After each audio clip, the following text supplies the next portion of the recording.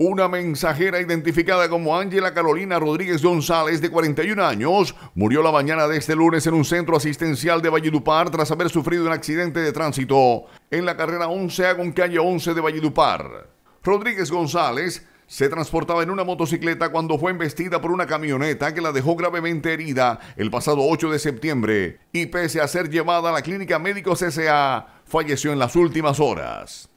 La Policía de Tránsito y Transportes del Cesar Cetradeses llevó a cabo la inspección al cadáver y lo condujo a medicina legal en Valledupar para la necropsia de rigor.